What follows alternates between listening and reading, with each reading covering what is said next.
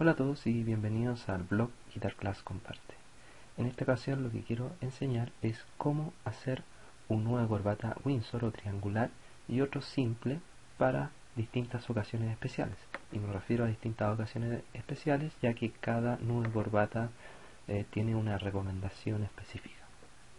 Por ejemplo, el nudo Windsor es uno de los más popularizados y fue creado por el duque inglés Windsor Hoy en día es uno de los nudos de corbata más usados y sobre todo en ocasiones especiales, sea ceremonia, evento, matrimonio, etc. Por lo que si tu salida es importante, es uno de los nudos que yo diría que sí o sí debería hacerse como detalle a nuestra presencia personal y elegancia al momento de presentarnos. Con respecto al nudo simple, eh, se puede usar para distintas ocasiones, pero digámoslo así, más informales o cuando uno necesite hacer un nudo de corbata rápido.